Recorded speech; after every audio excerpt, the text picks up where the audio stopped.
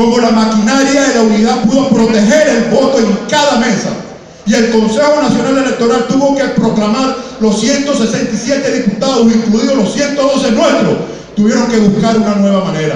Y ahora se da el fenómeno de que tenemos sentencias que matan votos. Y eso no lo vamos a permitir.